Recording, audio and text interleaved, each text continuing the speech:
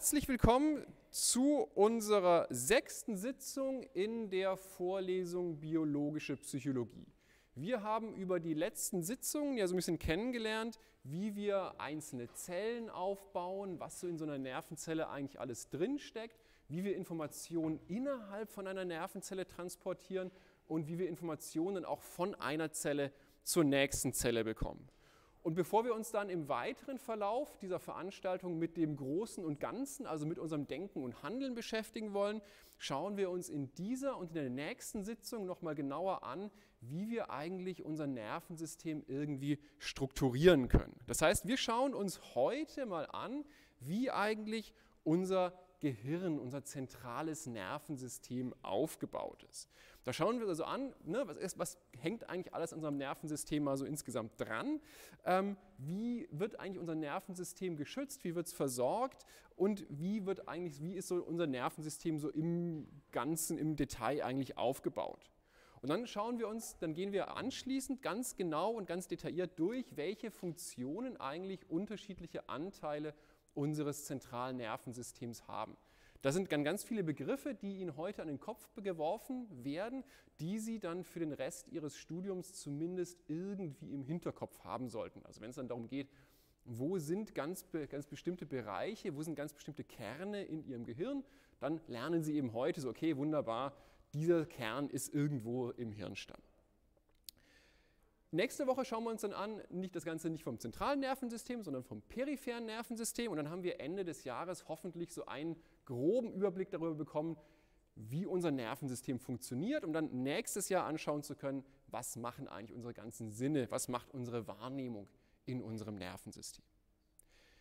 Wir werden heute ganz viel über einzelne Kerngebiete, einzelne Bereiche unseres zentralen Nervensystems sprechen und falls Sie die mal genauer anschauen möchten, kann ich Ihnen den Brain Tutor von Brain Voyager äh, empfehlen. Brain Voyager, das ist eine Firma, die ähm, entwickeln Software zur Analyse von EEG und fMRI-Daten und die haben ein Open Source Tool entwickelt. Das ist quasi eine Visualisierung. Da können Sie auf so ein MRT-Bild draufklicken und je nachdem, wo Sie draufklicken, leuchtet dann ein anderer Teil des Gehirns auf und Sie bekommen dann eine Info, welcher Teil des Gehirns jetzt gerade ist und welche Funktionen dieser Teil des Gehirns denn eigentlich gerade übernimmt. Also, wenn man so ein bisschen äh, gucken will, was so im Gehirn alles rumliegt, ist das ein ganz nettes Spielzeug.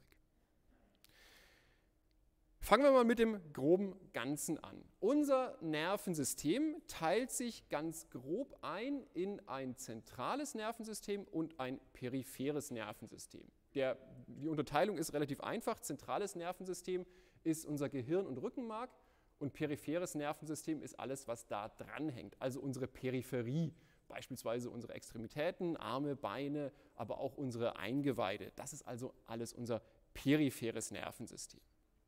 Zum peripheren Nervensystem kommen wir eben nächste Woche noch genauer.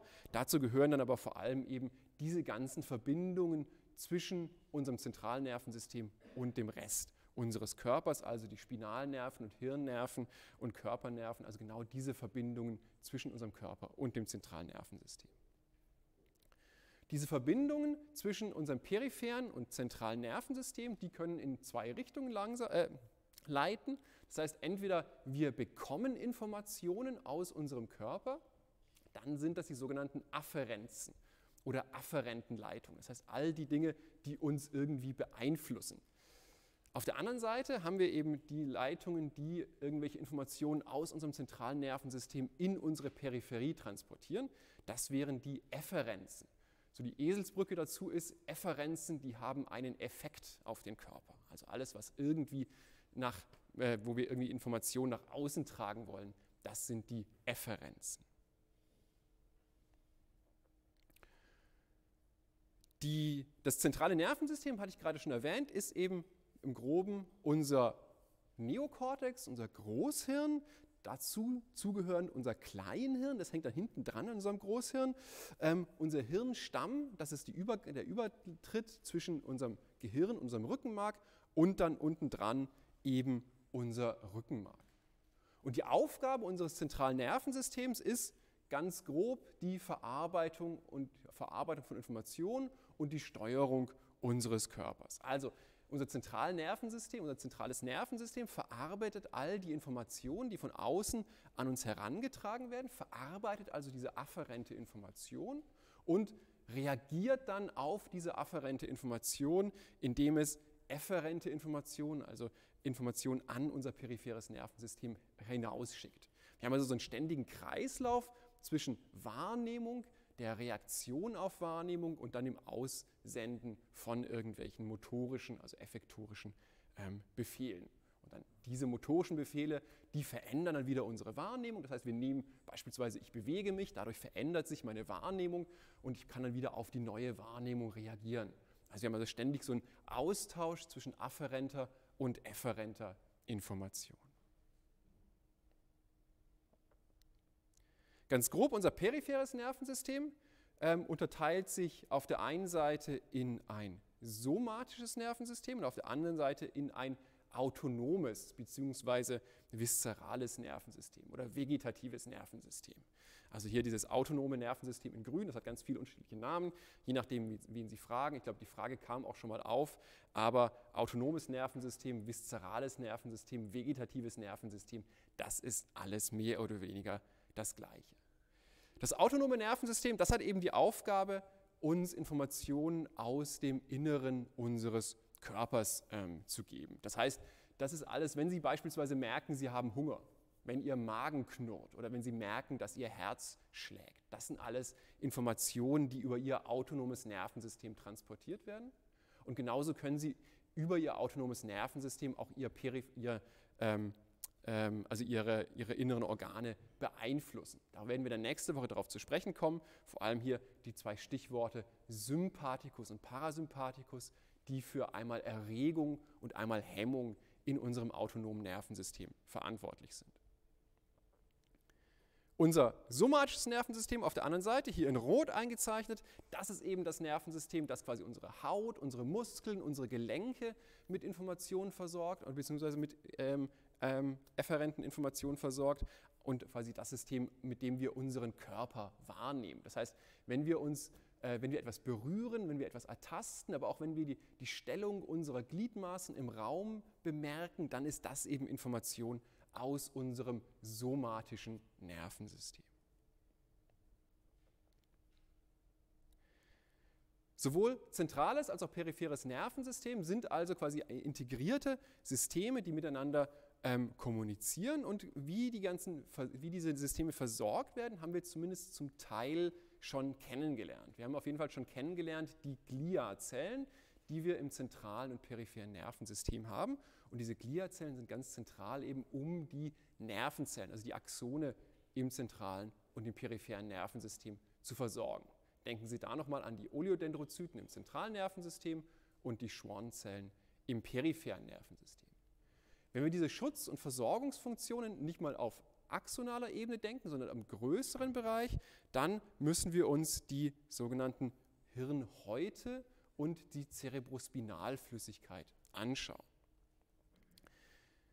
Unser Nervensystem, vor allem unser zentrales Nervensystem, ist umschlossen von mehreren Schutzschichten. Also Sie können sich ein bisschen vorstellen, Sie haben ja äh, alle einen Schädel, den können Sie bei sich selber spüren, das ist das harte Ding äh, äh, äh, oben auf ihrem Körper drauf und in diesem Schädel schwimmt irgendwie ihr Gehirn drin. Das heißt, ihr Gehirn, das ist erstmal so, das ist quasi, wenn man, wenn man so ein Gehirn in die Hand nimmt, dann ist es so eine galertartige Masse, die aber tatsächlich schwimmt. Also ihr Gehirn schwimmt in einer Flüssigkeit, der Cerebrospinalflüssigkeit. Diese Cerebrospinalflüssigkeit umschließt also ihr zentrales Nervensystem.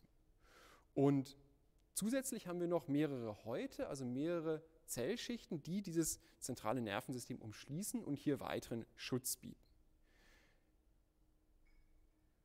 Die, die Cerebrospinalflüssigkeit, die, die befindet sich eben um unser Gehirn und unser Rückenmark drumherum, aber wir haben auch im Inneren unseres Gehirns flüssigkeitsgefüllte Hohlräume, die eben dann vor allem dem Schutz, also der, quasi der Dämpfung unseres Gehirns vor äußeren Einflüssen dienen. Also wenn Sie mal mit Ihrem Kopf irgendwo gegenschlagen, dann ist eben die Cerebrospinalflüssigkeit da, um diese Bewegung Ihres Gehirns so ein bisschen abzufangen, dass nicht Ihr Gehirn ständig gegen Ihren harten Schädel ähm, gegenklatscht. Versorgt wird das Gehirn dann eben von Blutgefäßen, das hatten wir schon. Wir hatten schon die Blut-Hirn-Schranke so ein bisschen kennengelernt, als wir uns mit den Gliazellen auseinandergesetzt haben. Ähm, das heißt, wir haben um unser Gehirn drumherum ein sehr feines Netz von Blutgefäßen und dann gibt es einen Stoffaustausch zwischen diesen Blutgefäßen und unserem Nervensystem über unsere Astrozyten. Wenn wir uns mal diese Hirnhäute genauer anschauen, dann sehen wir eben, dass wir drei Schichten von Hirnhäuten haben. Wir haben also ganz außen drumherum unseren Schädelknochen und unterhalb des Schädelknochens, da finden wir die sogenannte Dura mater. Das ist die harte Hirnhaut, die äußerste Schicht unseres zentralen Nervens, also die äußerste Schicht unterhalb des Knochens. Und unterhalb dieser Dura mater finden wir dann die Arachnoidea, das ist eine äh, quasi eine weitere Hirnhaut, die so im Grunde, können Sie sich ein bisschen vorstellen, wie so ein, wie ein ganz feines, spinnengewebsartiges Geflechtgenetz aus äh, Bindegewebsfasern ist. Und dann drunter haben wir noch eine dritte Hirnhaut, die dann direkt auf dem Gehirn aufliegt. Das ist dann die Pia mater, die weiche Hirnhaut. Das ist quasi dann die, diese Hirnhaut, die direkt auf dem Gehirn aufliegt. Und zwischen der Arachnoidea und der Pia mater, da haben wir dann eben eine schmale Schicht, in der eben unsere Cerebrospinalflüssigkeit sich befindet. Und genauso auf der vorherigen Abbildung habe ich es ein bisschen besser gesehen, auf der äh, Pia mater drauf, da liegen dann die Blutgefäße, also quasi schon durch diese Hirnhaut getrennt von unserem Gehirn.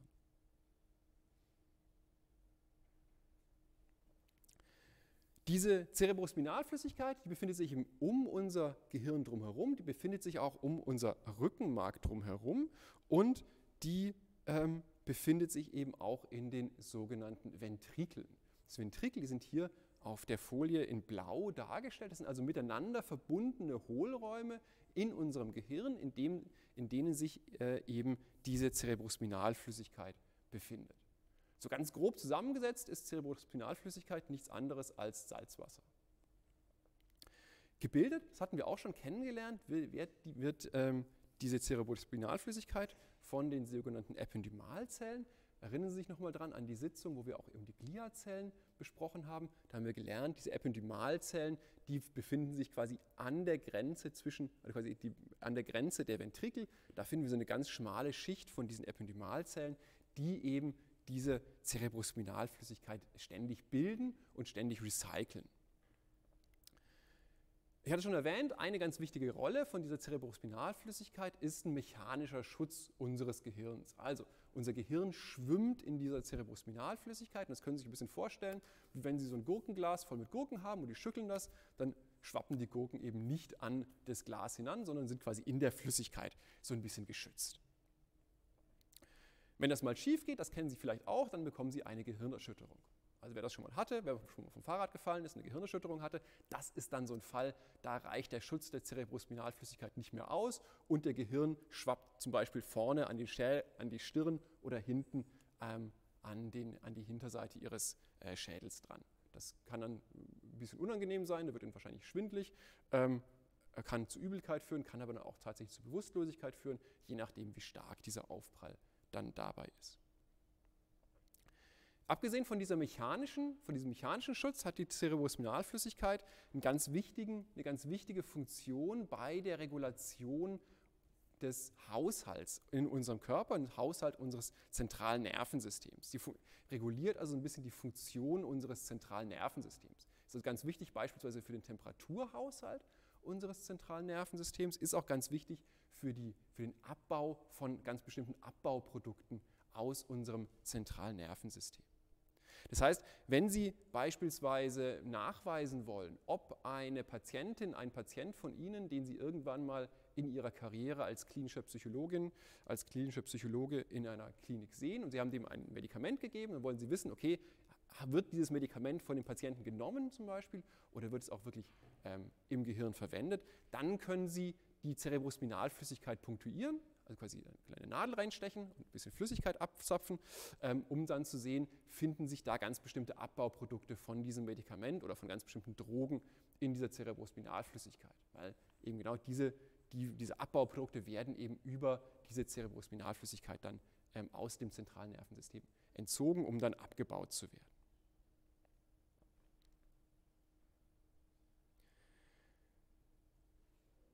Wenn wir, also, wenn wir aber abgesehen davon noch irgendwelche Stoffe an unser Gehirn hinbringen wollen, dann brauchen wir eben unsere Blutgefäße. Die Blutgefäße, die können Sie bei sich selber auch mal so ein bisschen erfüllen. Das sind hier diese Arterien, die hier am Hals entlang hochziehen. Da kann man auch ganz schön über den Puls messen. Also wenn man hier so die Hand dran legt, dann merkt man eben den, den Herzschlag, den Puls hier an diesen Arterien. Das sind also sehr dicke, sehr große Arterien.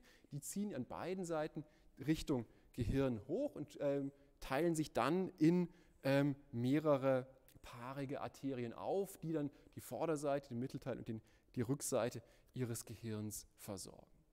Ganz wichtig, wir haben eine Blut-Hirn-Schranke. Wir haben also eine Schranke zwischen ihren, unseren Blutgefäßen und dem Nervengewebe. Das heißt, wir haben keine direkt, keinen direkten Übertritt von Stoffen aus dem Blut ins Gehirn, sondern hier müssen diese Stoffe aus dem Blut eben über unsere Gliazellen aufgenommen werden und dann an die Nervenzellen weitergegeben werden.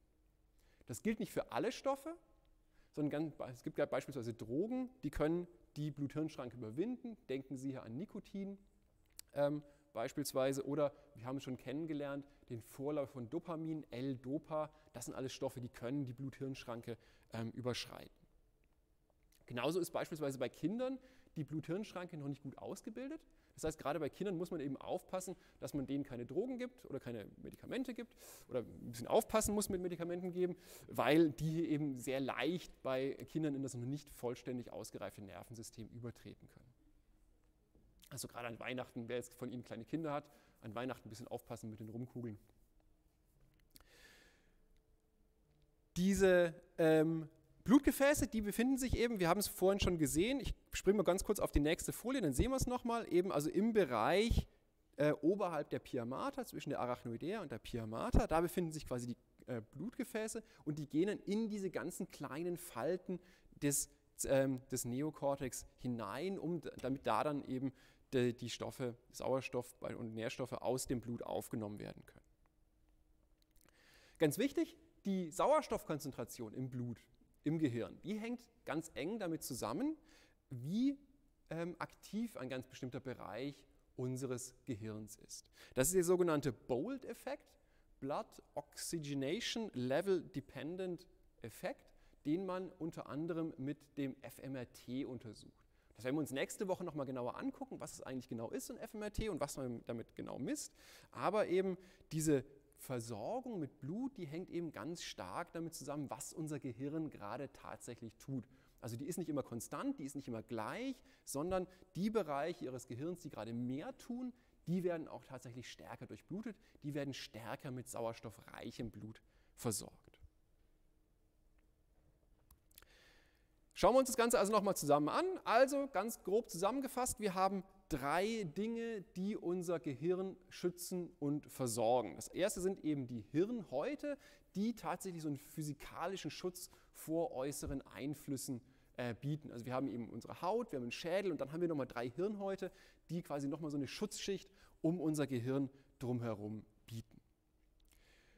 Unterhalb dieser Hirnhäute, also unterhalb der Arachnidea, finden wir dann unsere Cerebrospinalflüssigkeit. Die finden wir auch eben in den Ventrikeln, also diese Flüssigkeit, die unser Gehirn vor mechanischen Einflüssen schützt und hier auch das Gehirn reguliert.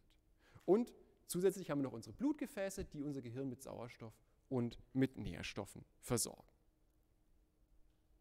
Jetzt wissen wir also ganz grob mal den groben Aufbau unseres Nervensystems. Wenn wir also so ein Nervensystem vor uns liegen haben, wissen wir schon mal ganz grob, was da alles dranhängt. Jetzt können wir uns mal anschauen, was die einzelnen Teile denn genau für eine Funktion haben. Diese Untersuchung der Funktion des Gehirns, die hat eine sehr, sehr lange Tradition. Ähm, die hat angefangen mit den frühen Theorien, was denn eigentlich das Gehirn sein soll, mit den, mit den alten griechischen Philosophen, die erstmal gedacht haben, okay, das Gehirn ist nicht so ganz so wichtig, das könnte beispielsweise nur ein, ähm, ein, ein Wärmetauscher sein, bis dann eben man drauf kam, okay, das Gehirn ist dann vielleicht doch irgendwie sinnvoll und irgendwie wichtig, bis dann eben tatsächlich in den, äh, in, ähm, im 17. und 18. Jahrhundert man drauf kam, okay, schauen wir uns doch mal an, was denn eigentlich das Gehirn tatsächlich funktionell macht. Ein ganz wichtiger Forscher dabei, hier jetzt schon im 19. Jahrhundert, war Paul Flexig, der in äh, Zwickau äh, geboren, in Leipzig gestorben, also in Ostdeutschland, untersucht hat, wie denn eigentlich unser Gehirn aufgebaut ist und wie unser Gehirn strukturiert ist. Da haben wir also angefangen, sich zu überlegen, wir nehmen unser Gehirn und schauen mal an, welche Funktionen könnten denn jetzt nicht das gesamte Gehirn haben, sondern welche Funktionen könnten einzelne ganz spezialisierte Teile haben. Und Paul Flexig ist eben herangegangen und hat sich überlegt, wie und wann werden denn ganz bestimmte Teile unseres Gehirns myelinisiert. Also Myelinisierung haben wir schon kennengelernt, diese Umwicklung unserer Axone mit Oliodendrozyten im zentralen Nervensystem, die entsteht nicht immer gleichzeitig, sondern die entsteht über unsere individuelle Entwicklung hinfort. Also wir haben also Bereiche unseres Gehirns, die werden früh myelinisiert und wir haben Bereiche unseres Gehirns, die werden spät myelinisiert. Und aus dieser Beobachtung, dass unterschiedliche Bereiche unseres Gehirns zu unterschiedlichen Entwicklungszeiträumen myelinisiert werden, hat er eben abgeleitet, dass diese Bereiche unseres Gehirns auch unterschiedliche Funktionen erfüllen sollten. Er hat also hier aufgestellt die Idee, dass gerade eben die Bereiche unseres Gehirns besonders früh myelinisiert werden, die vor allem für unsere sensorischen und motorischen Fähigkeiten relevant sind. Also die Bereiche unseres Gehirns, die wir schon früh in unserer individuellen Entwicklung brauchen, die werden auch, die reifen auch früh, die werden also auch früh myelinisiert. Auf der anderen Seite eben Bereiche, die wir erst relativ spät in unserem Leben brauchen, die werden auch erst spät myelinisiert beispielsweise unser Präfrontalkortex. Das ist der Bereich hier vorne in unserem Gehirn unterhalb der Stirn. Ähm, das ist der Bereich unseres Gehirns, der als letztes myelinisiert wird. So in, so in ihrer individuellen Entwicklung wird der tatsächlich erst zum Ende ihrer Pubertät fertig myelinisiert. Das heißt, das ist ein Bereich, den können Sie erst dann voll nutzen, wenn Sie wirklich mit Ihrer individuellen Entwicklung so einigermaßen fertig sind. Das ist so ein bisschen die Ausrede dafür, warum Sie vielleicht als junger Mensch blöde Sachen gemacht haben. Ihr Präfrontalkortex, der ist ganz relevant für die Handlungssteuerung und diese Hand, dieser Präfrontalkortex, der für die Handlungssteuerung eben relevant ist, der wird auch tatsächlich erst relativ spät in Ihrem Leben entwickelt. Also so mit 17, 18 ist er noch nicht fertig voll entwickelt, ist nicht fertig myelinisiert, kann also nicht das tun, was er eigentlich sollte.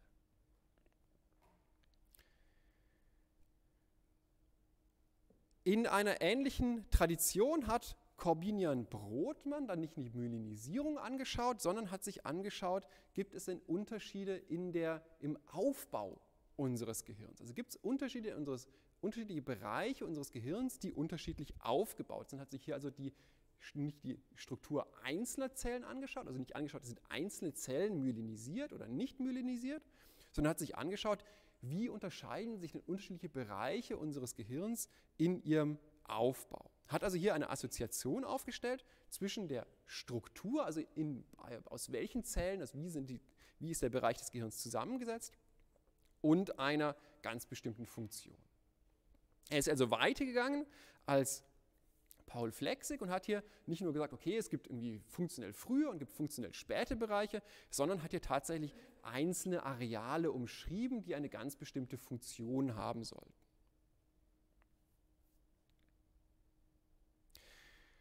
Von diesem Corbinian Brotmann gibt es dann einen ganz, ganz berühmten Atlas, den wir auch heute immer noch verwenden, den sogenannten Brotmann-Atlas. Dieser Brotmann-Atlas, hier auf der, auf der Folie haben Sie die Abbildung, die ist auch heute immer noch gängig und heute wird immer noch heute verwendet.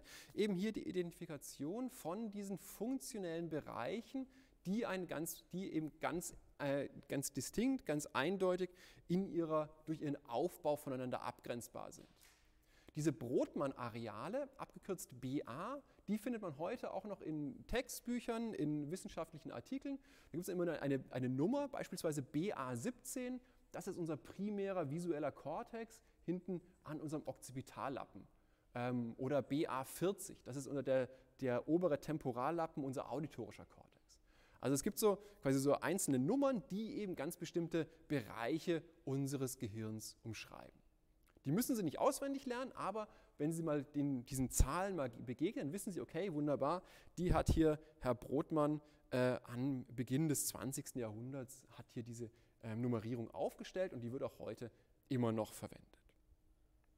Und ich werde auch tatsächlich immer mal wieder, wenn wir uns über die einzelnen ähm, funktionellen Bereiche unseres Gehirns unterhalten, werde ich auch immer wieder auf diese Brotmann-Areale zurückkommen und sage Ihnen okay, das ist Brotmann-Areal 17, 18, 19 und dann Zeichen dazu ein Bild, dass Sie dann wissen, wo die liegen.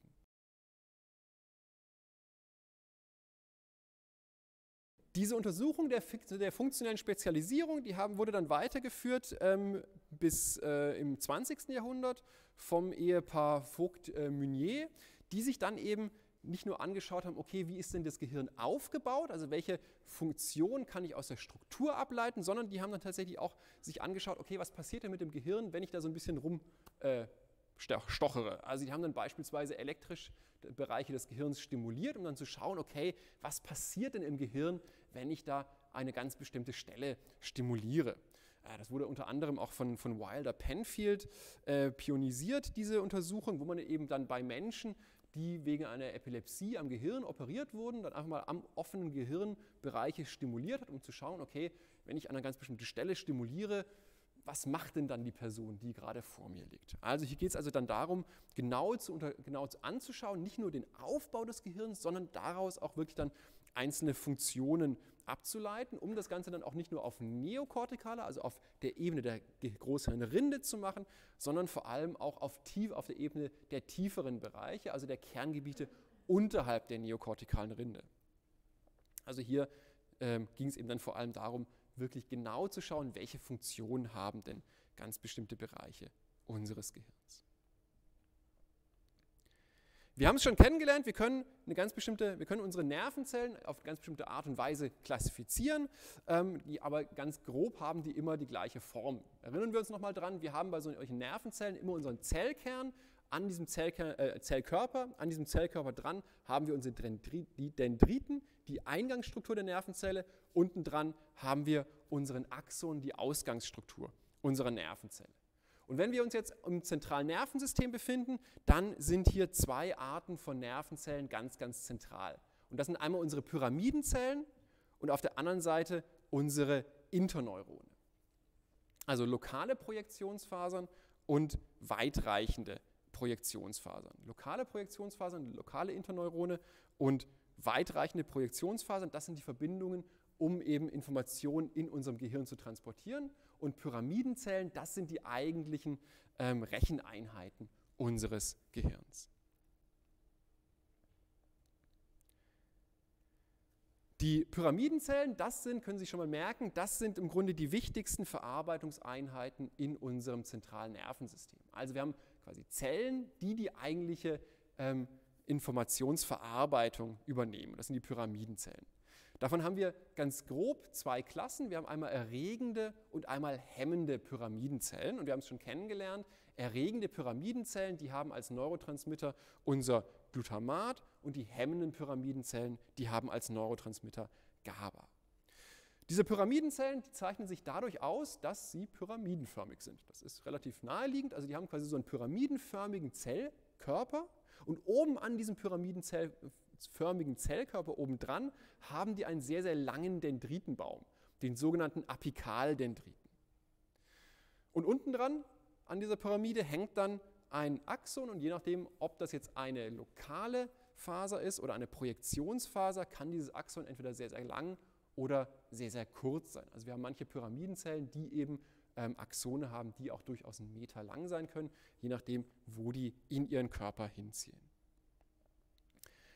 Auf der anderen Seite ganz wichtig sind unsere Interneurone und diese Interneurone, die bilden die Verbindungen, die Verschaltungen zwischen diesen Pyramidenzellen. Also ähm, die ähm, vermitteln also Informationen zwischen benachbarten Pyramidenzellen, leiten die Informationen also von einer Recheneinheit weiter zur nächsten Recheneinheit. Und aus diesen unterschiedlichen Zellen, also unterschiedlichen Pyramidenzellen und Interneuronen, ist dann unser Gehirn, unser Zentralnervensystem aufgebaut. Ganz grob haben wir, also als Faustregel, in unserem Zentralnervensystem sechs Zellschichten.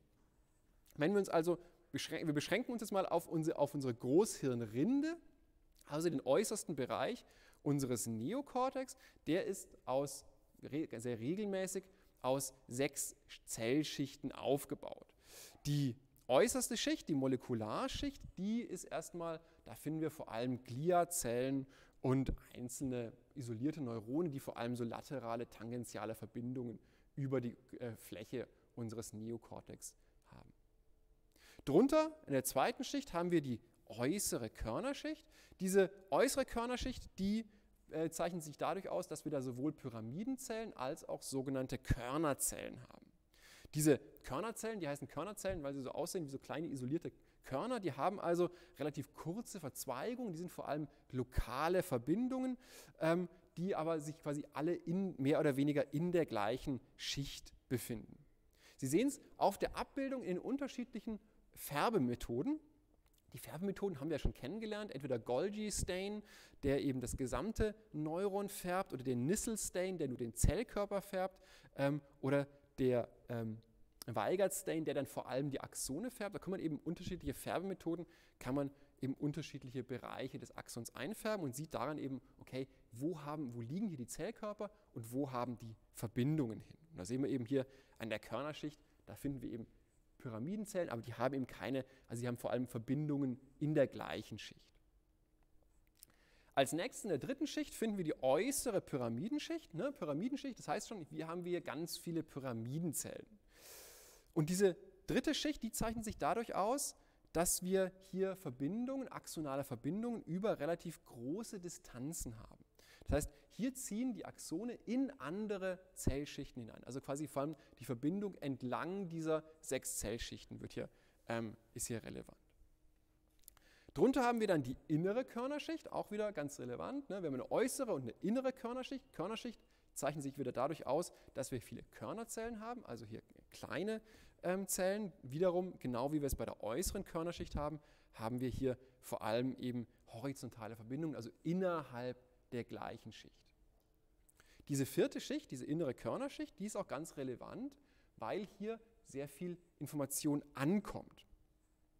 Also das ist die wichtigste afferente Schicht, wo beispielsweise ganz viel Input aus unserem Thalamus ankommt. Also alle sensorische Information landet hier in dieser vierten Schicht. Drunter haben wir dann die innere Pyramidenschicht. Genau, wie wir eine äußere Pyramidenschicht haben, haben wir auch wieder eine innere Pyramidenschicht. Zeichnet sich eben auch wieder dadurch aus, dass hier viele Pyramidenzellen vorhanden sind, die auch wieder, genau wie wir es bei der äußeren Pyramidenschicht haben, ganz viele ähm, Verbindungen zu den anderen Zellschichten haben, also relativ weitläufige ähm, Verbindungen haben. Und dann haben wir zu guter Letzt als sechstes die multiforme Schicht, die dann quasi ganz als unterste, als sechste Schicht ähm, eine Verbindung, auch wieder ganz viele, ganz starke laterale Verbindungen zu den anderen, äh, zu anderen Bereichen unseres Gehirns ähm, darstellt.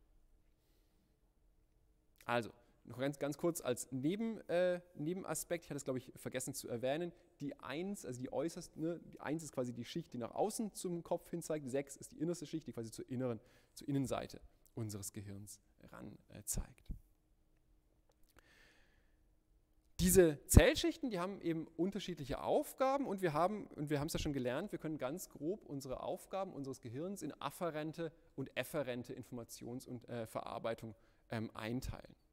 So haben wir eben eine ganz wichtige afferente Schicht, das ist die vierte Zellschicht, das ist die, die Zellschicht in unserem Neokortex, die Informationen aus unseren, aus, unserem, ähm, aus unseren sensorischen Systemen erhält.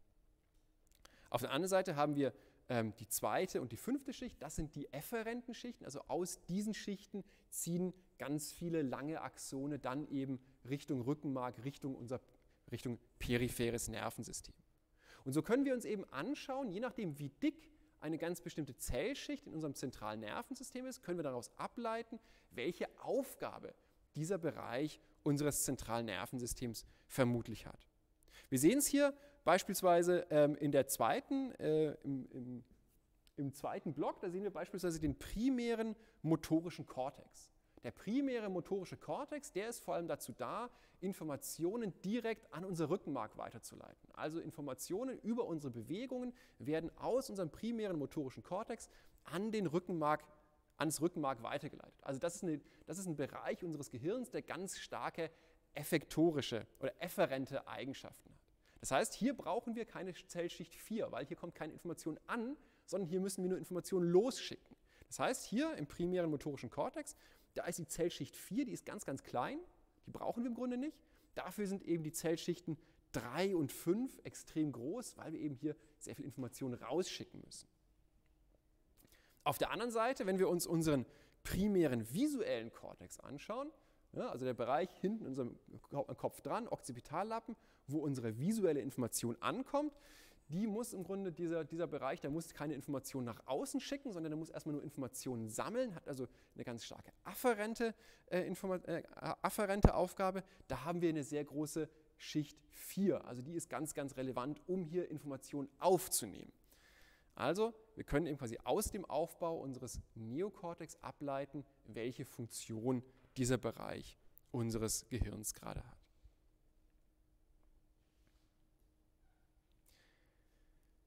Bei dieser, bei, bei dieser Betrachtung der unterschiedlichen Aufgaben, der unterschiedlichen Zellschichten und unterschiedlichen Bereiche unseres Gehirns sind zwei Begriffe ganz zentral, nämlich einmal Feed Forward und einmal Feed Back. Also einmal die aufsteigende bzw. Ähm, äh, Vorwärtsleitung von Informationen und einmal die absteigende bzw. die Rückwärtsleitung äh, äh, von Informationen. Feed Forward oder beziehungsweise Ascending, das ist all die Information, die von frühen Verarbeitungsstufen weitergegeben wird an höhere Verarbeitungsstufen. Das werden wir uns nächste Woche noch genauer anschauen, aber wir haben in unserem Gehirn, unserem zentralen Nervensystem, eine hierarchische Informationsverarbeitung. Das heißt, Information, die wir bekommen, die wird in sogenannten frühen Bereichen unseres zentralen Nervensystems, beispielsweise im primären visuellen Kortex oder primären auditorischen Kortex verarbeitet und von da weitergegeben, also nach oben weitergegeben, in der Hierarchie nach oben weitergegeben an sekundäre und tertiäre ähm, Verarbeitungsstufen. Das ist der Feed-Forward-Schritt. Ja.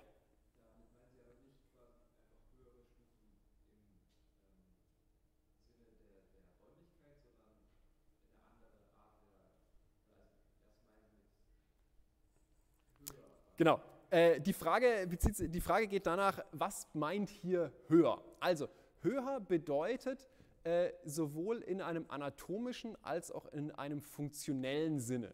Also, das werden wir uns äh, nächste Woche oder wir werden uns heute noch genauer anschauen, wie eben die einzelnen sensorischen Systeme aufgebaut sind. Ähm, das heißt, wir haben beispielsweise einen Bereich, bleiben wir im visuellen System, einen Bereich, den primären visuellen Kortex, bekommt eine direkte Verbindung zum Thalamus. Also eine direkte Verbindung zu unserem sensorischen Eingang. Und dann haben wir anschließend einen sekundären oder einen tertiären visuellen Kortex. Die haben keine direkten Verbindungen mehr zum Thalamus, sondern bekommen eben ihren Input vom primären visuellen Kortex. Das heißt, wir haben so eine, rein anatomische Trennung zwischen in, in, unterschiedliche funktionelle Bereiche. Das heißt, wir haben, je, je weiter wir von unserem sensorischen Inhalt weg sind, desto höher gehen wir in der Hierarchie. Gleichzeitig haben wir aber auch eine funktionelle Hierarchie, nämlich wir haben die beiden Begriffe schon kennengelernt, konvergente und divergente Informationsverarbeitung. Hier wird also Information zusammengefasst zu immer abstrakteren Informationen. Das heißt, auf Ebene der primären sensorischen Areale, da werden einfache Informationen verarbeitet. Im visuellen Kortex Kanten, Farben, Kontraste. Und je höher wir kommen, desto komplexer wird diese Information, bis wir eben dann spezialisierte visuelle Areale haben, die für Gesichter relevant sind oder für Häuser oder für Hände. Also wird eben quasi die Information immer weiter zusammengefasst. Auch, wird auch deswegen auch eine, eine funktionelle Hierarchie aufgemacht. Hat das die Frage beantwortet? Okay, wunderbar. Gleichzeitig haben wir auch eine Feedback-Verarbeitung. Ja, sorry.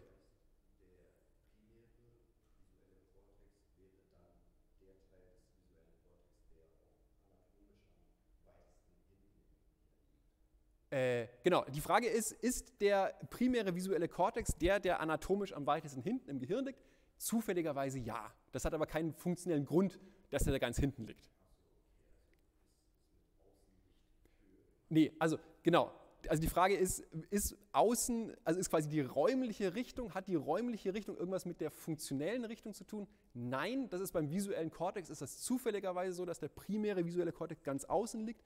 Beim auditorischen System liegt der primäre visuelle Kortex zum Beispiel an der Oberseite unseres Temporallappens oder im somatosensorischen System liegt der an der Zentralfurche. Also das hat keinen funktionellen Grund, dass der primäre visuelle Kortex komischerweise ganz hinten in unserem Kopf dann liegt.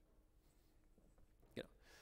Auf der anderen Seite haben wir Feedback-Verbindungen, das heißt, wir haben auch eine, einen Zurückfluss von Informationen aus funktionell höher gelegenen Arealen zurück auf frühe Areale. Das heißt, wir haben einen Einfluss von späterer Informationsverarbeitung auf die frühe Informationsverarbeitung. Also höhere Areale können Informationen zurückgeben auf frühe Areale. Das ist vor allem ganz relevant in unserem motorischen System. Da müssen wir ja quasi von abstrakten Handlungsplänen, wie ich möchte, jetzt zur Vorlesung gehen, ähm, zu einem sehr konkreten Handlungsplan kommen, nämlich ich muss einen, einen Fuß vor den anderen setzen. Das heißt, ich muss von, einem sehr, von etwas sehr Abstraktem hin zu etwas sehr Konkretem kommen. Also das ist genau ein Beispiel für so einen Feedback-Prozess, wo ich quasi diesen umgekehrten Informationsfluss habe.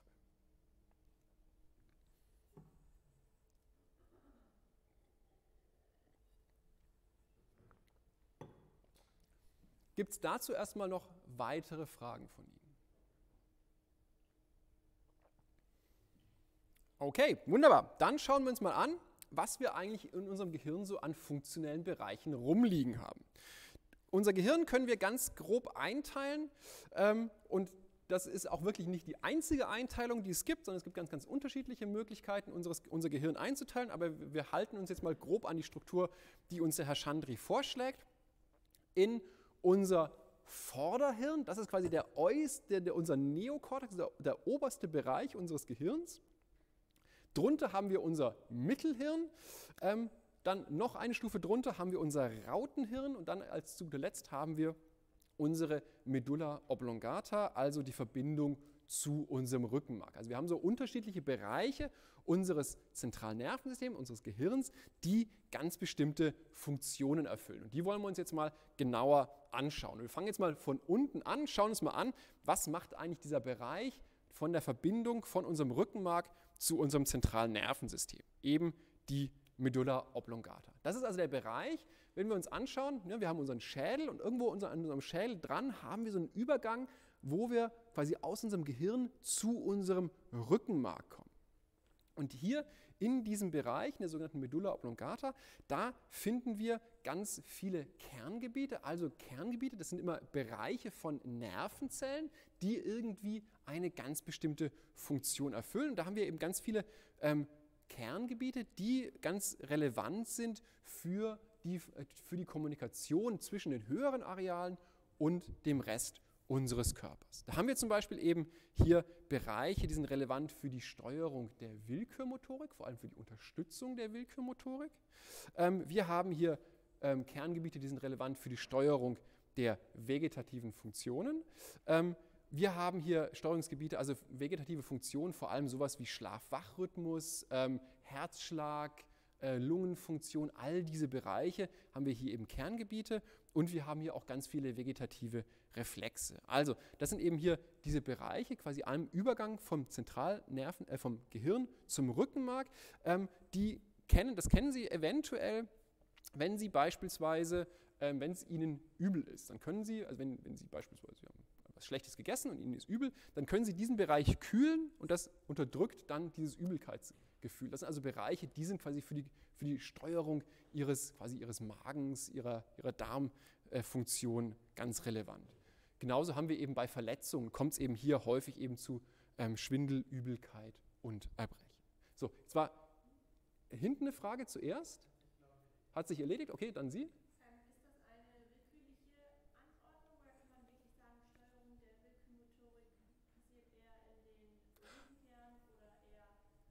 Ach so, nee, okay, okay, genau, ich, ich, ich verstehe Ihre Frage. Die, Fra die, Frage ist, haben diese, hat die Anordnung meiner Bullet Points eine funktionelle Ordnung? Nein, hat sie nicht. Das sind quasi, diese, diese Bullet Points sind Beispiele dafür, für Funktionen, die eben hier in der Medulla oblongata sind. Genau, also beispielsweise die Olivenkerne sind relevant für die auditorische Verarbeitung. Also quasi eine, eine frühe Stufe der auditorischen Verarbeitung.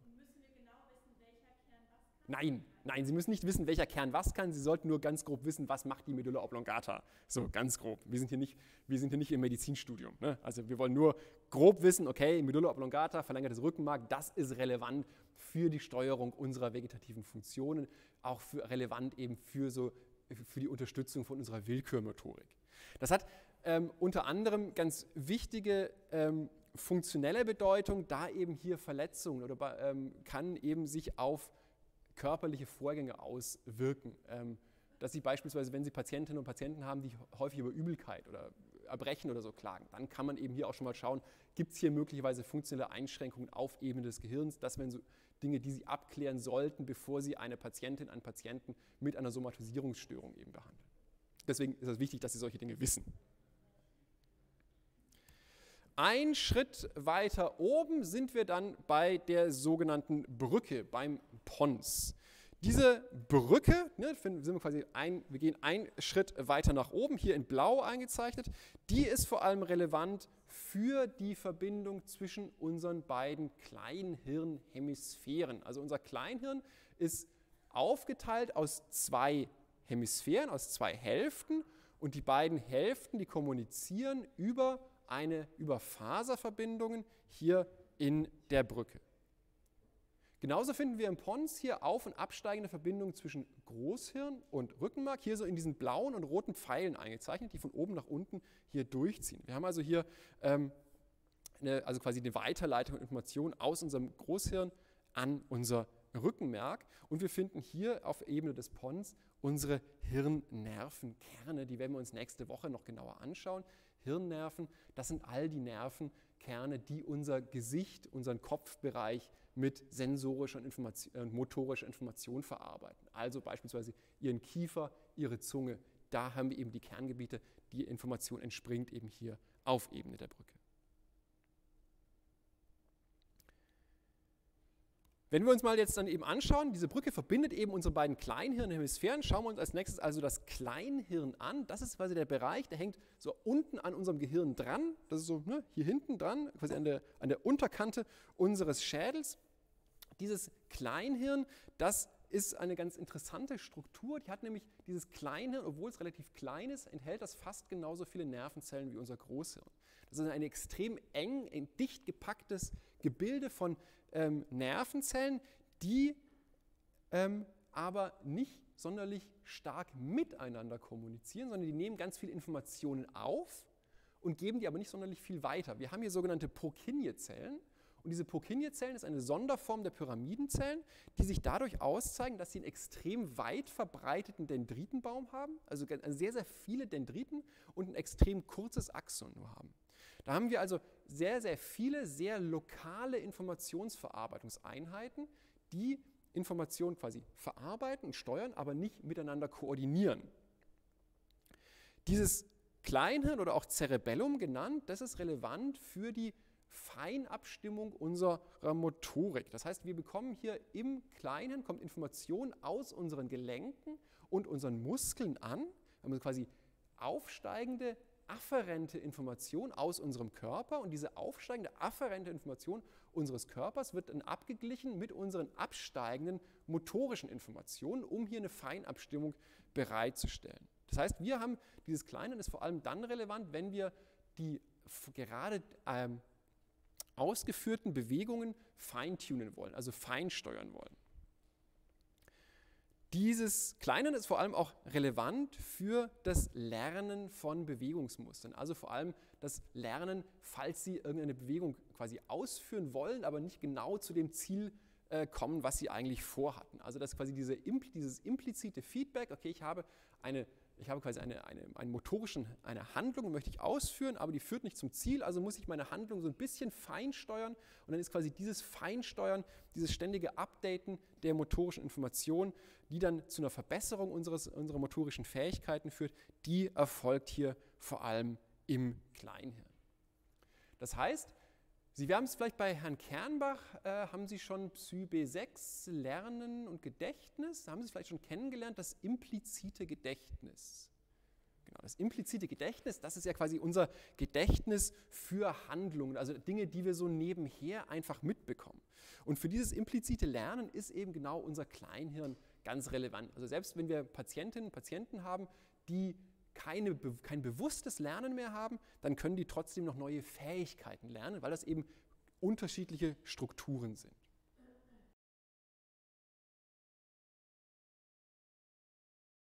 Gehen wir einen Schritt weiter, sind wir immer noch hier im Hirnstamm, kommen wir dann also zur sogenannten Formatio reticularis. Diese Formatio reticularis, die ist also quasi jetzt der nächste Schritt, wenn wir äh, vom Pons weiter nach oben gehen.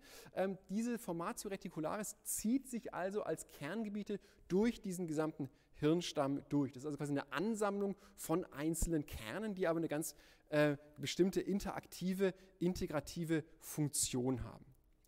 Diese Formatio reticularis, die ist ganz relevant, um eben sowas wie eine körperliche Aktivierung aufrechtzuerhalten. Also die ist also ganz relevant für die Aufrechterhaltung von vegetativen Funktionen und sowas wie Aufmerksamkeit und äh, Wachheit. Dafür ist eben diese Formatio reticularis ganz relevant. Diese Formatio reticularis, die besteht aus mehreren Kerngebieten, unter anderem den Raphe-Kernen, dem Locus coeruleus und diese Kerngebiete werden zusammengefasst zum sogenannten aufsteigenden retikulären Aktivierungssystem, ARAS abgekürzt. Wir hatten schon kennengelernt unsere unterschiedlichen Neurotransmitter. Also beispielsweise dieses Serotonin, 5-HT abgekürzt, ne, erinnern Sie sich noch mal dran, das wird hier in den Raphe-Kernen ähm, produziert und dann eben hier haben wir also quasi die, die, Zellkörper, die hier Serotonin produzieren und dann haben wir die Axone, die von dahin in den gesamten Neokortex ziehen. Die sind eben relevant für beispielsweise für die Aktivierung bei Schmerz oder die Weiterleitung von Schmerz, die Modulation von unserer Schmerzwahrnehmung, aber eben auch für die Steuerung von so ganz bestimmten vegetativen Funktionen wie unserem Schlaf-Wachrhythmus. Auf der anderen Seite unser Locus coeruleus hatten wir auch schon kennengelernt. Das ist der Kern der Noradrenalin, also den, den Botenstoff Noradrenalin in unserem zentralen Nervensystem ähm, produziert. Dieses, eben diese Formatio reticularis ist eben ganz relevant für diese Modulation der Funktion unseres zentralen Nervensystems. Also, ähm, die wird quasi eine integrative Funktion für diese sowohl auf- als auch absteigende Information. Hier wird also quasi die in, in, entsprechend der Information, die wir von außen bekommen, wird also dann unser zentrales Nervensystem aktiviert oder gehemmt. Eben unter anderem durch die Produktion von ganz bestimmten Neurotransmittern, wie eben hier Noradrenalin oder Serotonin. Ganz wichtig, diese Formatio reticularis dient auch damit tatsächlich schon als Informationsfilter. Also je nachdem, wie aktiv diese Formatio reticularis ist, können hier ganz bestimmte aufsteigende, ganz bestimmte afferente Informationen verstärkt oder gehemmt werden. Denken Sie also dran, beispielsweise, wenn Sie, wenn Sie schlafen, dann wird ganz bestimmte Informationen aus Ihrem Körper nicht an Ihr Zentralnervensystem weitergeleitet. Und das ist nur eine Funktion dieser Formatio reticularis, die hier dann ganz bestimmte Informationen, die gerade nicht relevant sind, einfach schon mal unterdrückt, einfach schon mal abgeblockt wird.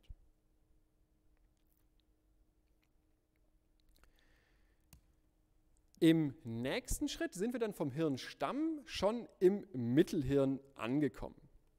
Dieses Mittelhirn, äh, auf Lateinisch Mesencephalon, besteht aus wiederum mehreren Kerngebieten. Hier die Tectum, Tegmentum und die Crura cerebri, die vor allem hier relevant sind für reflexhafte Reaktionen auf sensorische Informationen. Das heißt, das sind Kerngebiete, die sind für die frühe sensorische Verarbeitung relevant. Und hier werden eben quasi auf, quasi als erste Verarbeitungsstufe, noch bevor diese Information überhaupt von Ihnen bewusst verarbeitet wird, werden hier schon auf Informationen von außen hin ganz bestimmte Reflexe ähm, ausgelöst.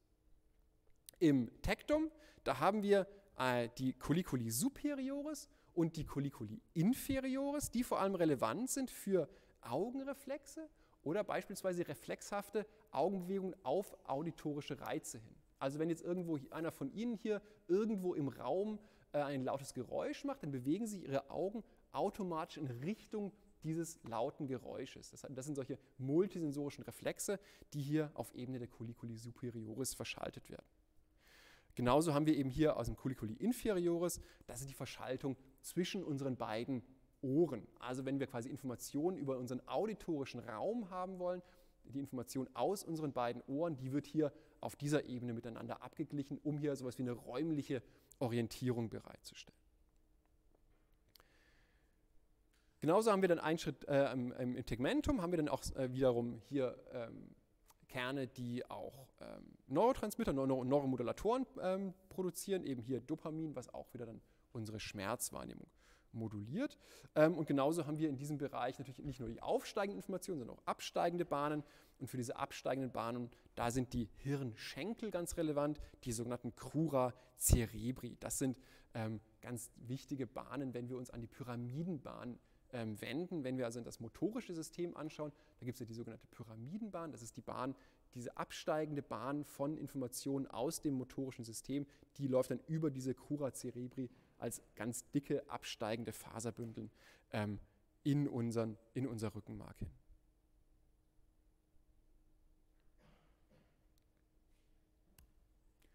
Als nächstes sind wir dann im Zwischenhirn angekommen, im Diencephalon. Dieses Diencephalon, da haben wir dann ganz viele Strukturen, die haben wir letzte Woche schon kennengelernt, nämlich unseren Hypothalamus und Hypophyse. Genauso die Epiphyse und den Epithalamus. Haben wir letzte Woche schon kennengelernt. Das waren diese Bereiche, die irgendwie mit unserem Hormonsystem zusammenhängen. Dann haben wir Hypothalamus haben wir kennengelernt als die zentrale Integrationsstelle zwischen unserem Körper und unserem Nervensystem, dass wir also hier Informationen aus dem Körper kommt hier an und wird hier dann weitergegeben an unser ähm, zentralen Nervensystem und wird dann hier quasi unser zentrales Nervensystem reagiert dann wieder über eine Aktivierung von Hypothalamus und Hypophyse die dann eben wieder unseren Körper moduliert. Abgesehen davon haben wir hier eine ganz, ganz wichtige Station, ein ganz wichtiges Kerngebiet, den Thalamus. Der Thalamus ist eine der, der wichtigsten Strukturen in unserem Gehirn und den wollen wir uns mal jetzt genauer anschauen. Dieser Thalamus, der liegt quasi genau in der Mitte ihres Gehirns. Wir haben letzte Woche den Hypothalamus kennengelernt. Der Hypothalamus liegt unterhalb des Thalamus. Ne? Das heißt also, Thalamus liegt über dem Hypothalamus genau in der Mitte des Gehirns. Das ist eine, eine paarige Ansammlung von Nervenzellkörpern. Das heißt, wir haben hier zwei Hälften, einen linken, einen rechten ähm, Thalamus. Und dieser Thalamus, der ist so landläufig unser Tor zu unserem Bewusstsein. Denn fast alle sensorische Information, die wir aufnehmen, wird über diesen Thalamus verschaltet. Das heißt, dieser Thalamus, der besteht aus ganz, ganz vielen spezialisierten Unterbereichen, die jeweils für eine sensorische oder motorische Funktion relevant sind. Wir haben hier also eine ganz enge Kommunikation zwischen Thalamus und unserem Neokortex. Ähm, und auf der anderen Seite haben wir aber auch gleichzeitig eben eine Verbindung zu unserem Hirnstamm. Das heißt, Information, die aus unserem Körper ankommt, läuft erstmal in den Thalamus rein und wird da dann von da weitergegeben in unseren Neokortex. Fast alle sensorischen Informationen, also visuell, auditorisch, somatotop, Schmerz, das läuft alles über unseren Thalamus bis auf unseren Geruch. Unser Geruchssystem wird nicht über den Thalamus verschaltet.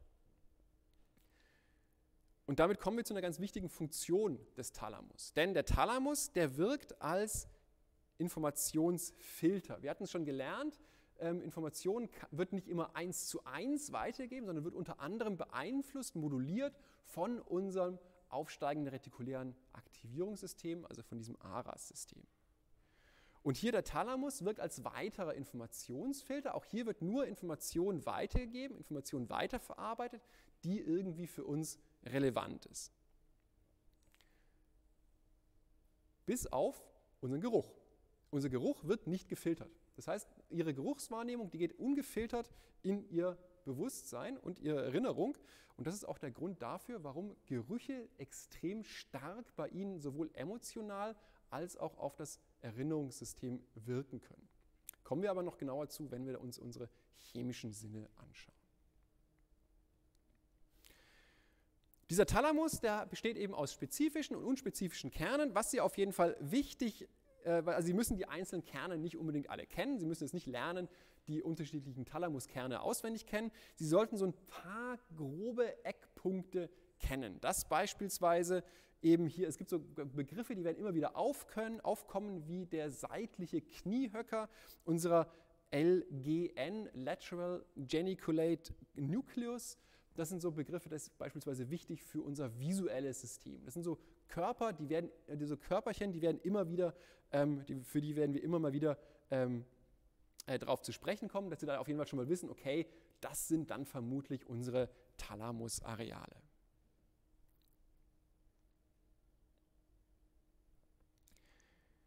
Dieser Thalamus, der ist extrem stark segmentiert, also da haben wir wirklich eine ganz, ganz feine, ganz, ganz detaillierte Einteilung und es werden da dabei auch tatsächlich ständig neue Areale entdeckt. Also wir wissen immer noch nicht so genau, was alle Bereiche des Thalamus eigentlich genau machen ähm, und je nachdem, welche Funktion wir untersuchen, gibt es da aber auch noch, immer noch Unterstrukturen vom Thalamus, die immer noch wieder neu entdeckt werden. Ähm, also da ist noch lange nicht alles ähm, getan an der Strukturierung unseres Thalamus. Den Hypothalamus haben wir letzte Woche schon kennengelernt. Ähm, das ist eben unser zentrales Steuerungsorgan für unser Hormon- und vegetatives System. Brauchen wir jetzt im Grunde nicht mehr genau äh, eingehen. Da werden eben die Informationen aus unserem zentralen Nervensystem und unserem peripheren Nervensystem miteinander verschaltet.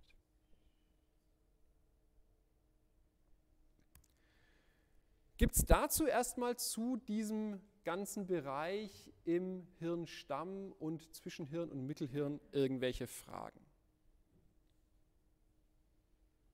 Ja.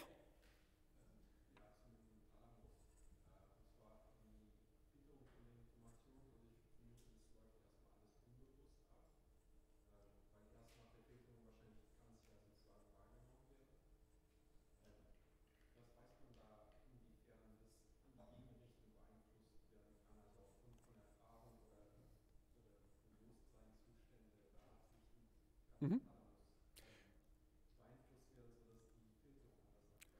Genau, die Frage geht danach, die Filterung im Thalamus, die funktioniert vorbewusst. Also das ist ja eine Verarbeitungsstufe, die findet statt, bevor die Information an unserem Neokortex ankommt. Und Neokortex, das ist ja klassischerweise der Sitz unseres Bewusstseins. Das ist natürlich die Frage, wie funktioniert das, dass der Thalamus hier schon Informationen filtern kann. Und ein ganz wichtiges Schlagwort dabei ist Aufmerksamkeit. Aufmerksamkeit ist eben so eine, so eine abstrakte kognitive Funktion, die top-down, also absteigend, unsere sensorische, äh, sensorische Verarbeitung beeinflusst. Und diese top-down, äh, dieser Top-Down-Einfluss, der wirkt auch auf den Thalamus. Das heißt, sowas wie räumliche Aufmerksamkeit oder intersensorische Aufmerksamkeit ähm, moduliert dann die Funktion einzelner Bereiche im Thalamus. Dass wenn Sie sich beispielsweise sagen, Sie sitzen in einem Konzert und Sie wollen sich jetzt ganz, ganz stark und ganz bewusst auf ihr auditorisches System konzentrieren, um etwas, um jemandem zuzuhören. Und die sitzen hier und wollen mir zuhören und wollen ausblenden, was sie sehen. Dann kann diese, quasi dieser Fokus ihrer Aufmerksamkeit auf eine ganz bestimmte Funktion beeinflussen, wie Information im Thalamus weitergeleitet wird. Werden wir uns aber noch genauer anschauen, wenn wir uns die einzelnen sensorischen Systeme anschauen.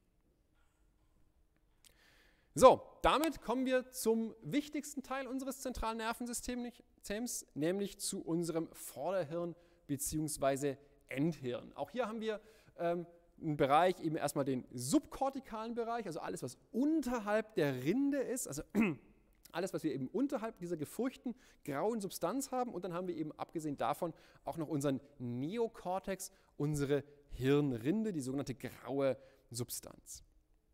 Subkortikal haben wir vor allem ganz viele Faserverbindungen. Die weiße Substanz, das sind ja myelinisierte ähm, Fasern, aber wir haben eben auch hier ähm, Gebiete mit ähm, Zellkernen. Im Neokortex, da haben wir eben vor allem unsere Pyramidenzellen, unsere Zellkörper und lokale Verbindungen, aber nicht so viele weit ver, äh, verbreitete ähm, äh, Gebiete. Im Neokortex, da finden wir dann eine sehr große funktionelle Spezialisierung. Da haben wir dann eben auch quasi dann einen Zusammenschluss von ganz bestimmten ähm, funktionellen Modulen. Beispielsweise eben gibt es dann das sogenannte limbische System. Das limbische System, das ist quasi ein Zusammenschluss von mehreren Kerngebieten. Das wurde lange Zeit so als einheitliches System betrachtet. Mittlerweile weiß man, okay, es ist eigentlich kein einheitliches System. Deswegen ist eigentlich quasi der, der Begriff dieses Systems so ein bisschen schwierig, weil wir hier sehr spezialisierte Kerngebiete haben, die je nach Funktion eben miteinander kommunizieren können. Das erste von diesen funktionell, äh, funktionell spezialisierten Systemen, das wir uns anschauen wollen, sind die sogenannten Basalganglien. Diese Basalganglien sind ein Zusammenschluss von Kerngebieten, hier unter anderem eben Striatum, ähm, Substantia nigra und Nucleus subthalamicus, also Bereiche im Inneren unserer, unseres Großhirns, die vor allem für die Modulation unserer Bewegung, unseres motorischen Systems relevant sind.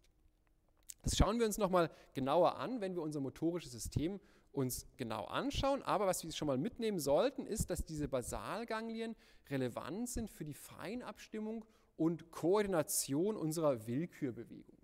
Das heißt, wir haben hier durch diese, ähm, durch diese Basalganglien, also durch, diesen, durch dieses Netzwerk von Kerngebieten, axonale Verbindungen, die eben Informationen, die Weiterleitung von Informationen beeinflussen können. Da haben wir einen direkten Pfad und einen indirekten Pfad und der direkte Pfad ist, in, ist relevant für die Verstärkung und Initialisierung von Willkürbewegungen. Also wenn ich eine Willkürbewegung anfangen möchte, dann muss ich Information über diesen direkten Pfad leiten und wenn ich Information beenden will, dann greift dieser indirekte Pfad modulierend auf meine Bewegung ein. Die ist also ganz relevant, um hier meine Bewegung fein zu steuern. Also vor allem, wenn ich eben eine Greifbewegung ausführe, dass ich rechtzeitig mit meiner Handbewegung aufhöre, um dann etwas ganz, ganz Bestimmtes zu greifen. Ein Teil des limbischen Systems, was eben jetzt aber mittlerweile als einzelne Funktion betrachtet wird, ist unsere Amygdala. Die sitzt hier unten dran. Ähm, diese Amygdala, die kennen Sie vielleicht auch schon von Herrn Kernbach, die ist ganz relevant eben für alles, was irgendwie mit Furcht und Emotionen zu tun hat. Also ganz relevant für eben die ähm, Verarbeitung von Angstkonditionierung und Furchtreaktion. Auch diese Amygdala, genauso wie Thalamus und Basalganglien, besteht aus unterschiedlichen funktional spezialisierten Kernen. Da haben wir also die kortikomedialen Kerne, die bekommen beispielsweise ähm, Informationen aus unserem olfaktorischen System und eben dem Hypothalamus, also integrieren Informationen aus unserem Körper und steuern damit auch wieder unseren Körper. Und auf der anderen Seite haben wir eben die basolateralen Kerne, die sind dann relevant, vor allem um Informationen aus dem Thalamus und dem Neokortex zu bekommen, die dann sowas wie eben Aufmerksamkeit und die schon erwähnte Furchtreaktion steuern. Bei dieser Funktion der Amygdala können wir zwei unterschiedliche Prozesse unterscheiden. Es gibt dann einmal, ähm, gibt es von, von Ledoux vorgeschlagen, zwei unterschiedliche äh, Wege der Informationsverarbeitung. Einmal die Low Root und einmal die High Root, also quasi einmal eine direkte ähm, sofortige Informationsverarbeitung und einmal eine eher kognitive, langsame, indirekte Informationsverarbeitung. Das heißt, wir haben hier, wenn wir beispielsweise einen, einen emotional starken Reiz haben, wenn wir beispielsweise einen Gefahrenreiz haben, dann kann dieser Gefahrenreiz direkt aus unseren sensorischen Systemen in die Amygdala weitergegeben werden, um hier eine Reaktion hervorzurufen, ohne dass dieser Reiz überhaupt bewusst verarbeitet werden muss. Und dann auf der anderen Seite haben wir dann eben die langsame kognitive Verarbeitung von emotionalen Reizen, die dann eben wiederum modulierend auf diese Amygdala einwirken kann. Das werden Sie bei Herrn Kernbach in Psybe 6 vermutlich ganz im Detail kennenlernen, wie diese unterschiedlichen Routen miteinander interagieren. Ja.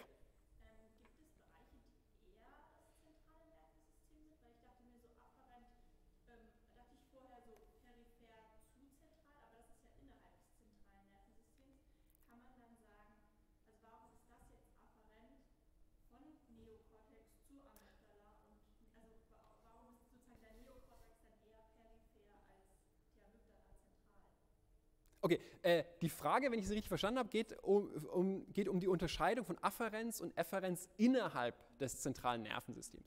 Diese Unterscheidung von Afferenz und Efferenz im äh, zentralen Nervensystem können Sie sich auch so ein bisschen äh, betrachten wie unter diesem Schlagwort von Bottom-up und Top-down-Verarbeitung. Also die Frage, in welche Richtung fließt die Information? Also ich habe ein Kerngebiet und dieses Kerngebiet bekommt Informationen von irgendjemand. Das heißt, es hat afferenten Input von irgendjemand. Genauso gibt dieses Kerngebiet Informationen weiter an irgendjemand, hat also einen Effekt, also eine efferente Information an irgendjemand. Also auch beispielsweise hier unser Thalamus bekommt afferente Information und gibt efferente Information weiter.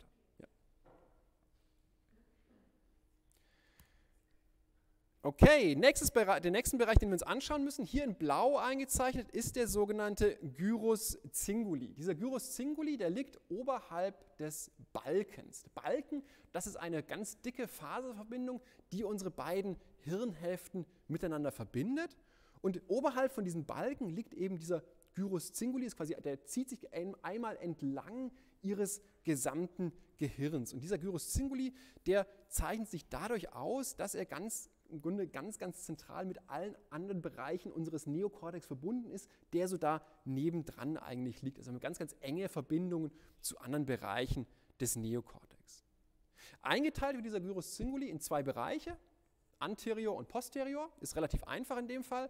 Der posteriore Gyrus Cinguli, der hat ganz starke Verbindungen zu unserem posterioren parietalen Kortex, also dem hinteren Bereich unseres Neokortex und ist ganz relevant, um uns irgendwie im Raum zu orientieren. Also für unsere räumliche Aufmerksamkeit, räumliche Wahrnehmung und Orientierung im Raum und auch die Anpassung unseres Verhaltens auf ganz bestimmte Dinge im Raum. Auf der anderen Seite der vordere Teil, der anteriore Gyrus Cinguli, der ist auch wiederum relevant für Aufmerksamkeit, in dem Fall aber nicht die räumliche Aufmerksamkeit, sondern vor allem die Aufmerksamkeit auf ähm, Feedback, also auf Rückmeldung, beispielsweise vor allem auf schmerzhafte Rückmeldung oder auch auf Fehlerrückmeldung. Also wenn Sie beispielsweise einen Fehler machen, dann wird dieser Fehler signalisiert über, eine, über ein dopaminerges Signal aus dem Striatum an den anterioren Gyrus Cinguli, der dann eben modulierend auf Ihr Verhalten eingreifen kann. Das ist also dann, wenn Sie beispielsweise lernen, wenn Sie einen Fehler gemacht haben und Sie lernen daran, diesen Fehler nicht mehr zu machen. Also erinnern Sie sich vielleicht daran, ich habe mich mal verbrannt an meinem Tee, habe also gelernt, okay, wunderbar, Tee ist heiß. Ähm, das heißt, um aus diesem Fehler zu lernen, brauche ich eben hier mein anteriores Cingulum. Auch relevant für unser Lernen oder noch viel, viel relevanter für unser Lernen ist dann unser Hippocampus. Hippocampus empfinden wir paarig an der Innenseite unserer Temporallappen. Und dieser Hippocampus, der ist eigentlich eine relativ einfache Struktur. Der hat nur, nur drei Zellschichten, CA1, CA2 und CA3. Und diese drei Zellschichten, die sind aber extrem stark miteinander verknüpft. Also dieser Hippocampus, der ist eben eine, Struktur, die ist extrem stark da miteinander verknüpft. Da kommunizieren die einzelnen Pyramidenzellen extrem stark mit ihren Nachbarn. Wir hatten es vorhin gelernt, im kleinen Hirn haben wir genau das Gegenteil. Da haben wir sehr, sehr viele isolierte Nervenzellen, diese isolierten Purkinje-Zellen, die alle gar nicht miteinander reden. Und hier im Hippocampus haben wir genau das Gegenteil. Da haben wir eben Pyramidenzellen, die, die reden extrem stark, extrem viel miteinander. Hier bilden wir also sehr dichte, sehr enge neuronale Netzwerke. Und diese enge Verknüpfung von Nervenzellen hier im Hippocampus, die ist, das, äh, die ist ganz relevant für unser Gedächtnis. Da haben wir schon zwei Prozesse kennengelernt. Einmal die Langzeitdepression und einmal die Langzeitpotenzierung. Also die Veränderung der, Synap der Stärke der synaptischen Übertragung an einzelne Nervenzellen. Haben wir ja schon mal kennengelernt.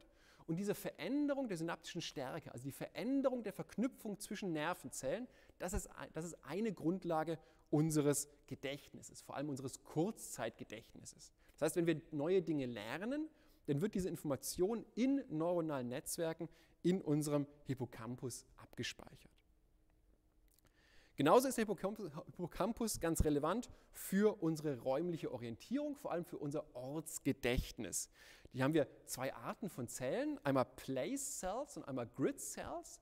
Und diese Place- und Grid Cells, die haben die Eigenschaften, dass sie die Erinnerung für einen ganz bestimmten Ort im Raum kodieren. Das heißt, Sie sind ja vermutlich, oder ein paar von Ihnen, relativ kürzlich erst nach Kiel gezogen. Das heißt, Sie haben ja erstmal so ein paar Tage gebraucht, um sich in Kiel zurechtzufinden. So, okay, wo ist der Bahnhof? Wo ist meine Wohnung? Wo ist meine Uni? Sie mussten also erstmal lernen, eine mentale Karte von Kiel zu erstellen.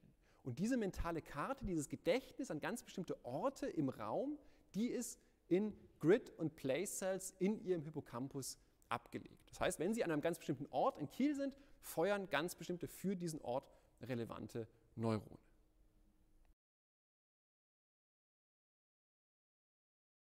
Schauen wir uns also erstmal an, wie ist unser Neokortex eigentlich funktional gegliedert. Fangen wir vorne an, da haben wir unseren Frontallappen. Ganz vorne haben wir unseren Präfrontallappen, also den vorderen Teil unseres Frontallappens, PFC abgekürzt. dieser Präfrontalkortex, Präfrontallappen, da haben wir auch wieder eine ganze Reihe von Unterstrukturen, aber ganz grob können Sie sich merken, unser Präfrontalkortex ist für alles relevant, was Sie irgendwie bewusst tun. Also Aufmerksamkeit, Handlungsintentionen, Planung, Steuerung, all diese Dinge, die werden in Ihrem Präfrontalkortex verarbeitet. Abgesehen von diesem von diesen abstrakten Handlungen haben wir eben nur noch konkrete Handlungssteuerung, nämlich unsere motorischen Areale. Einmal unseren prämotorischen und den supplementärmotorischen Arealen, hier mit SMA und PMA abgekürzt. Hier haben wir Areal 6, ne, Brotmann Areal 6, da haben wir wieder, haben wir, wir haben es heute kennengelernt, den Herrn Brotmann. Ähm, prämotorischer und supplementärmotorischer Kortex, die sind ganz relevant für die Erstellung von abstrakten Handlungsmustern und für motorisches Lernen. Und die geben die Informationen dann weiter an den primären motorischen Kortex, Brotmann Area 4, an der Vorderseite unserer Zentralfurche.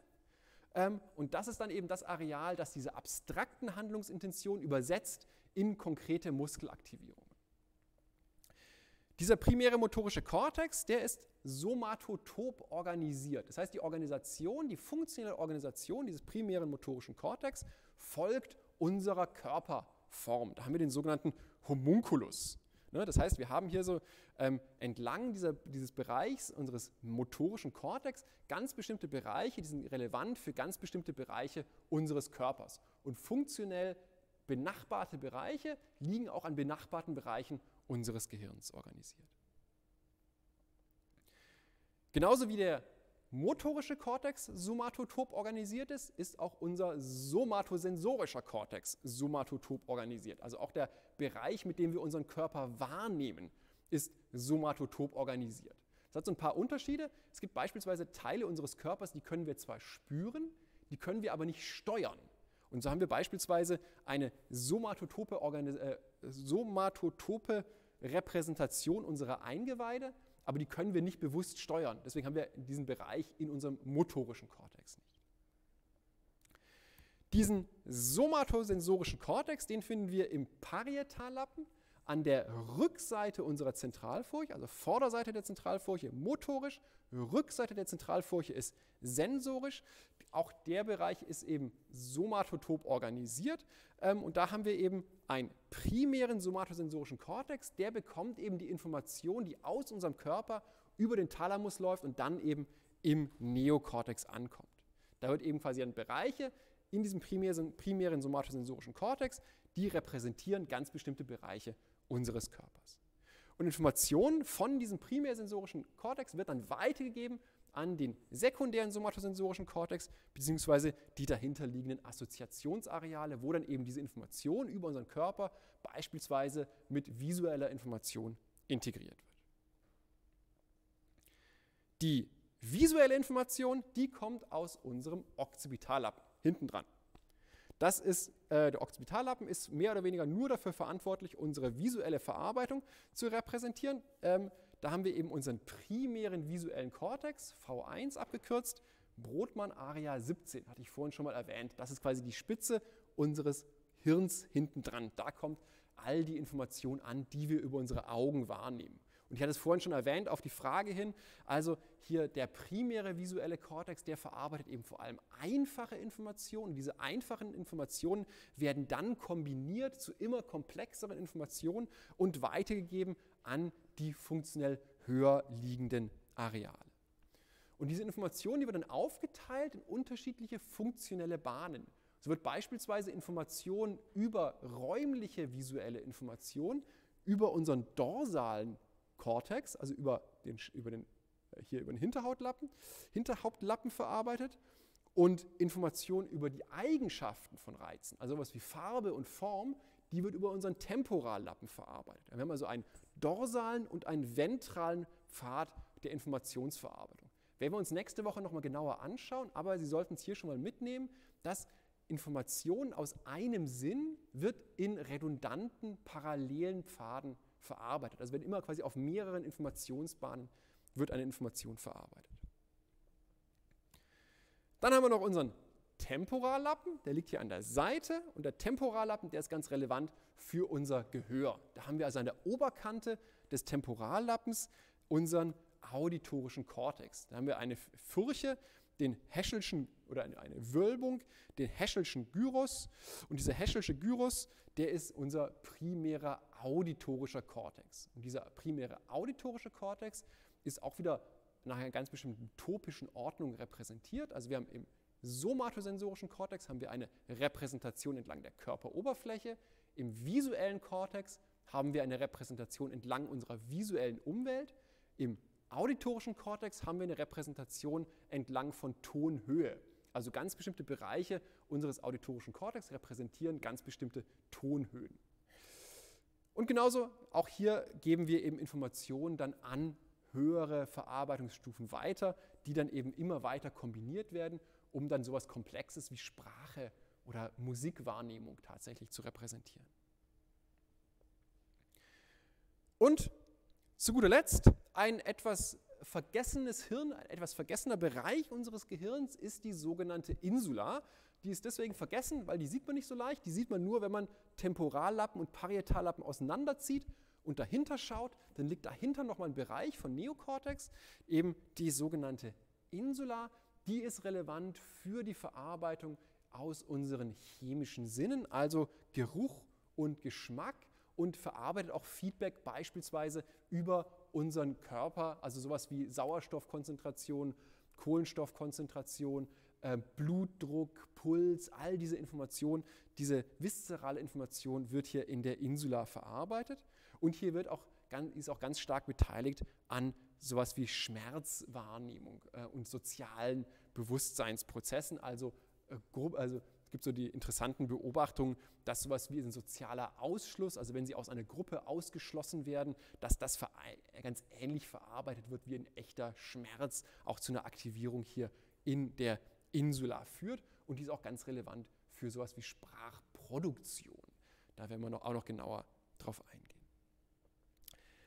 So, das war jetzt heute ein, äh, etwas, äh, eine Tour de Force durch unsere unterschiedlichen Bereiche unseres zentralen Nervensystems. Was Sie heute mitgenommen haben sollten, ist so ganz grob, welche funktionellen Bereiche können wir denn in unserem Gehirn unterteilen. Also, was ist der Hirnstamm, was ist das Mittelhirn, was ist das Endhirn und so ganz grob, welche Funktionen haben denn diese unterschiedlichen Bereiche unseres Gehirns. Sie sollten auch mitgenommen haben, was sind so einzelne äh, Schlüsselbegriffe, ne, Thalamus, Aras sollten Sie einfach so mitgenommen haben, wenn wir uns dann äh, nächstes Jahr mit den einzelnen Funktionen beschäftigen, dass wir dann einfach schon mal wissen, okay, wir müssen jetzt nicht mehr genauer definieren, wo liegen denn die superioren Colliculi, sondern Sie wissen, okay, superiore Colliculi, das war irgendwas da tief im Hirn.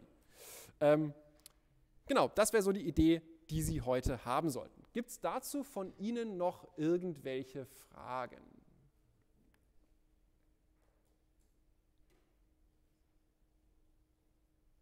Okay, wunderbar. Dann sind wir heute rechtzeitig fertig. Wir sehen uns nächste Woche hoffentlich nochmal wieder als letzte Sitzung dieses Jahr. Da schauen wir uns dann nochmal genauer an, eben die Kommunikation zwischen zentralen Nervensystemen und peripheren Nervensystemen und nochmal diese Idee von funktionellen Bahnen in unserem Gehirn.